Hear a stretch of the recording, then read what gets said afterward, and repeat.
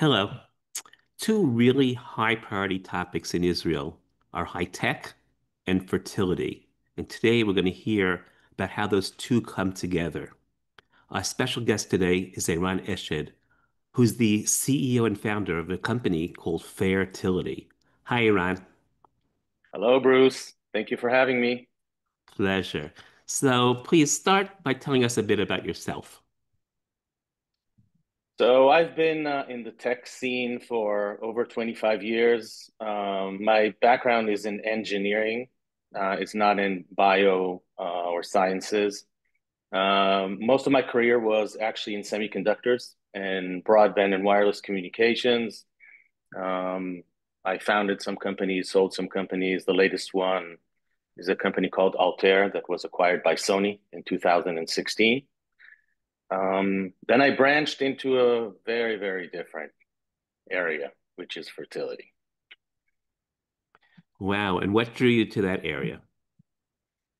Um, so there's the, you know, the romantic uh, story, and there's the real story. The romantic story, which actually happens to be true, is um, I was looking to do something very different and more of a do good type of a thing that touches people uh, and that has added value beyond just technology. Uh, and I was lucky to come across two very talented uh, people. One is a professor and a fertility specialist, uh, Professor Asaf Ben Meir, who runs the uh, IVF unit at uh, Hadassah Hospital here in Israel. And the other one is a very talented technology person called Itai Ehrlich, um, who was doing his PhD work, and they were researching a specific aspect in embryo development and how AI and deep learning may be applied to it, and just blew my mind. I said, "This is what I want to do." That's great. So, what does Fairtility do?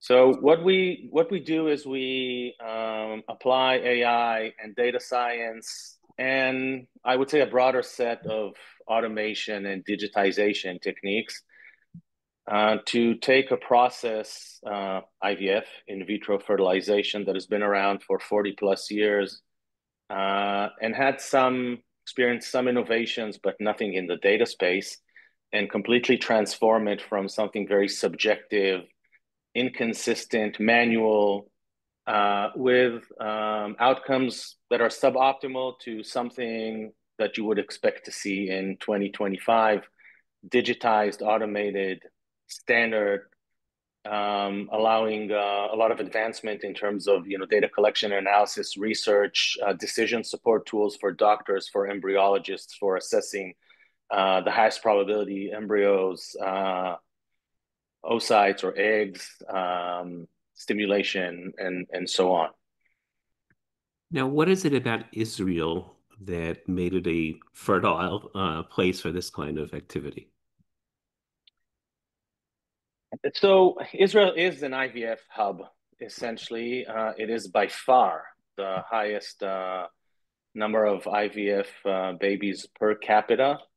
Uh, we could have a long discussion on, you know, the drivers for that, but it's essentially a it's it's a government uh, supported initiative that has to do with uh, demographic strategy.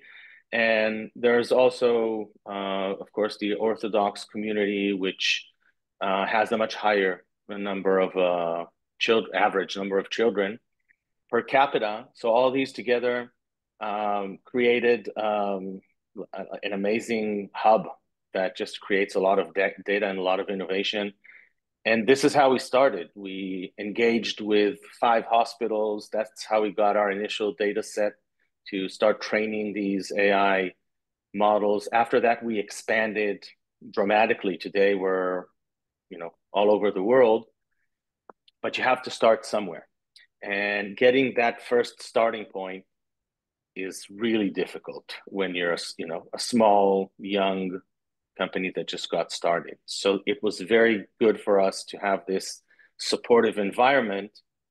Commercially, I would say that not necessarily the most attractive market because of different dynamics have to do with HMOs and reimbursement and all of that. uh, but a great place for collaborations, you know, research partners, and we've definitely capitalized on that.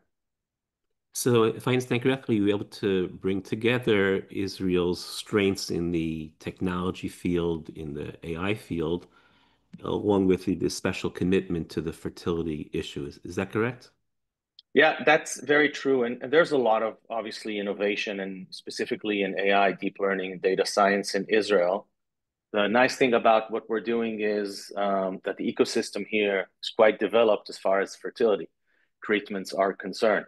There's obviously, you know, pathology and radiology and other areas in which you could apply AI. There's not that much advantage in doing it here versus doing it somewhere else in one of the large like medical centers in the US or in Europe. But as far as fertility is concerned, Israel is like a, you know, is a superpower in a way. Okay.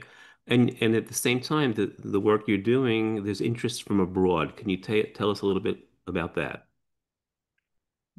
Fertility is kind of like nutrition, right? I mean, people want to have families, babies. It's it's it's on a constant rise, but the challenge is that fertility rates are declining as a result of many different factors. Sometimes people think of fertility as a you know female thing, but it's not. It's well researched that roughly 50% of infertility um, causes are male infertility factor. And this has to do with our lifestyles and nutrition and a bunch of different things. So fertility is on a decline. It's, you know, one of six couples on average worldwide suffers from some sort of infertility. So it's a huge market. Uh, despite the fact that here maybe we have a higher percentage of babies uh, per capita, we have a very small population. If you take a much smaller population, a much smaller percentage, but apply it to a much larger population, Japan, US, Australia, uh, different countries in Europe, the numbers are quite significant. And there is a thirst for innovation because this process has not seen, it has seen two or three innovations on the procedural, on the uh, science side, but not on the technology side. So and, it makes a big difference. Here and around the world, the, the types of people, organizations that are your clients, who are the consumers, the hospitals, the professionals? Who, who's the typical client?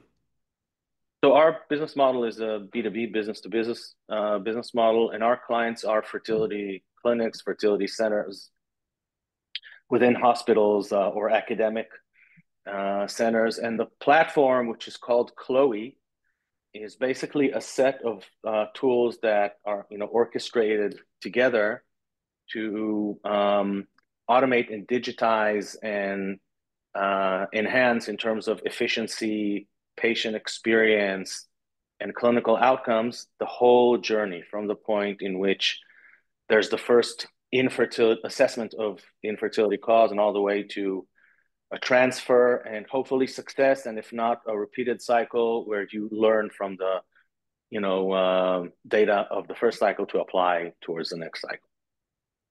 That's terrific. Um, you and i spoke earlier about uh, each area of technology having its own challenge each application its own challenges. It, um, what were some of the special challenges moving from semiconductors to the healthcare field Wow. Um, you know, I sometimes uh, say that had I known, maybe I wouldn't have, uh, you know, jumped into this, which of course the answer is I would. Uh, because one thing about us uh, Israelis is we, we're not afraid to fail. Uh, quite honestly, I think that's one of the big things. But healthcare is, uh, is, a, is a heavily regulated um, area. And when you marry that with AI, which is a new, relatively new concept, at least in the healthcare space, and infertility, I can say confidently there are no um, AI deep learning, for example, FDA approved products. You know, side note, we expect to be the first ones very soon. But uh, but in essence, uh, you're not just changing a market, you are uh, change managing a market. Uh, healthcare professionals tend to be somewhat conservative, and there's a good reason for that, right? It's all about not just efficacy, but safety. Uh, and they don't typically like changing what they do unless they see very robust science, clinical evidence behind it, as well as regulatory approvals.